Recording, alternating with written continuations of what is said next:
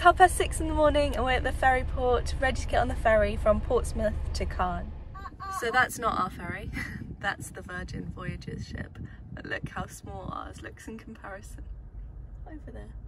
We've just been through check-in and first of all they asked for our ticket and then our passport um, and then our vaccination certificates for those who are vaccinated. For those who aren't vaccinated we needed the test certificate so those were our two eldest boys who are over 12 um, and then finally they asked for a sworn statement, which we didn't have. Um, luckily they had copies, so they gave us copies and we need to fill them in on the ferry, ready for when we get to France. Apparently if we don't have them when we get to France, then we'll get turned away and sent back to the UK. So we'll make sure we fill those in on the ferry.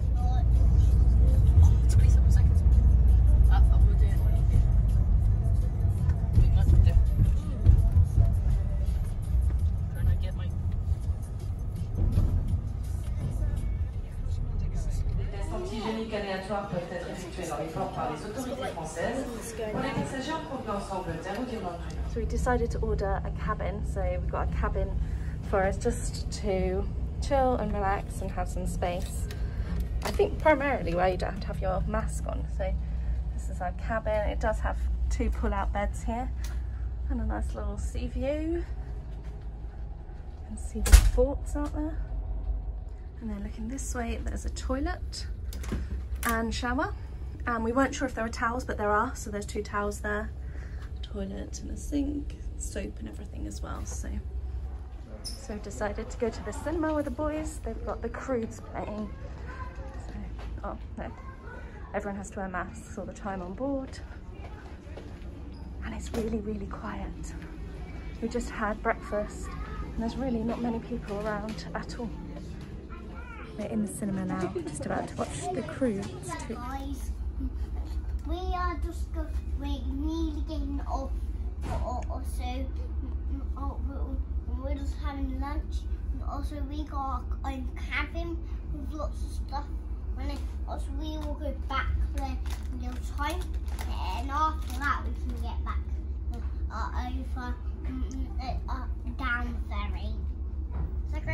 So we've come up to have a little look around the upper deck. We're nearly there now, so you can see the beaches over there. Um, but it is so, so quiet on the ship. There's really not very many people, so it's been quite nice. We uh, took a picnic and had a picnic lunch. And then, yeah, we're nearly there. Just entering the breakwater.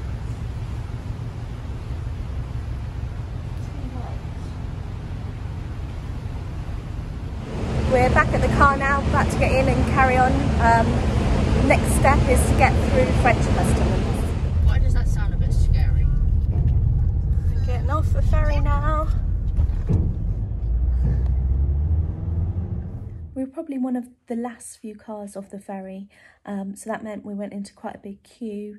It took about 35 minutes, which I don't think was too bad considering the extra checks they're doing for COVID. Um, they asked us for our passport and our vaccination certificates, and for the boys who were over 12, they needed their proof of a negative test and then we were through. Just a top tip, if you're going into Caen, it seems to go into three lanes. So when you come off the ferry, if you can stay in the left-hand lane, that one feeds into two, whereas the right-hand lane, which is the one that we, we were in, stayed in one. Um, I hope you've enjoyed this video and it's giving you a bit of insight into our crossing from Portsmouth to Caen. Um, if you didn't see my previous video, that shows you all the prep that we did beforehand and I hope you've enjoyed this. Please subscribe if you like this and I'll show you more of our journey into France. Thank you so much. Bye.